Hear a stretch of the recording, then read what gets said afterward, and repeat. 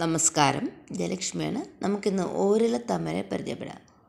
വയോലേസി കുടുംബത്തിൽപ്പെട്ട ഓരിലത്താമരയുടെ ശാസ്ത്രനാമം അയോണീഡിയം സഫ്രൂട്ടിക്കോസം എന്നാണ്.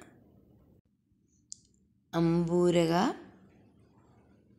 പത്മചാരിണി അവ്യഥ ലക്ഷ്മി ശ്രേഷ്ഠ ശാരദ അതിജര എന്നെല്ലാം ഓരിലത്താമര സംസ്കൃതത്തിൽ അറിയപ്പെടുന്നു.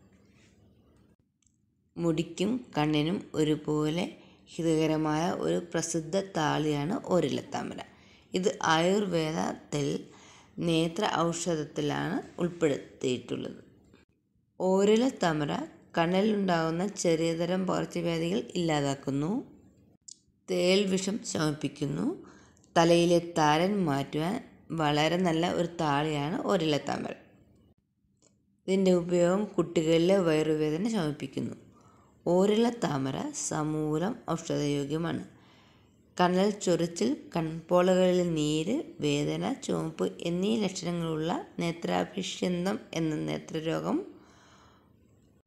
ഓരില താമര സമൂലമെടുത്ത് ചതച്ച് വെള്ളത്തിലിട്ട് പിഴിഞ്ഞരിച്ച് ആ വെള്ളം കണ്ണിൽ പല പ്രാവശ്യം ഒഴിച്ചു നിർത്തിയാൽ ഭേദമാകുന്നതാണ്. തലയിൽ ചാരണം അഥവാ താരൻ ഉണ്ടെങ്കിൽ ഓരില താമര ഇടിച്ച് പിഴിഞ്ഞ് താളിയാക്കി ഉപയോഗിക്കുന്നത് വളരെ നല്ലതാണ്. ചൂടുകൊണ്ടുണ്ടാകുന്ന തലവേദന ചുട്ടുനീറ്റൽ ഇവയ്ക്ക് ഈ ചെടി സമൂലമെടുത്ത് അരച്ചിട്ടാൽ മതിയാകും.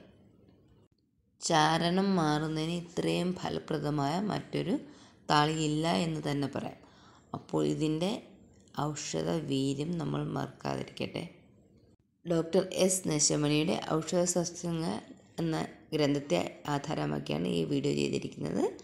എല്ലാവർക്കും ഉപകാരപ്രദമാകട്ടെ എന്ന് ആശിക്കുന്നു. നന്ദി.